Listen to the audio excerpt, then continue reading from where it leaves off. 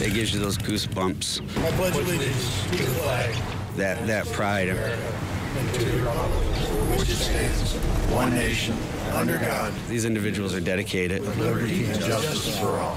It might be cold and it might be rainy, but regardless of the weather, the Patriot Guard riders are here to serve those who served us. For Sergeant Michael Gower, he stood for us, so we're going to stand for him. It's really about that honor and respect and the brotherhood of being in the service.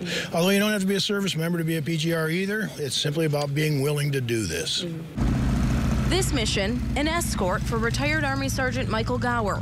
He was injured while serving in Baghdad and will soon receive a new home in Middleville thanks to Homes for Our Troops. Today is, is amazing just due to the fact that you actually get to see all the support that's there in the communities and, supporting uh, veterans.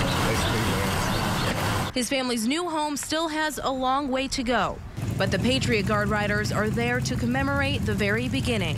We're just an organization, and we're here to give honor and respect to our veterans. Bring them all home safely. In Jesus' name we pray. Amen.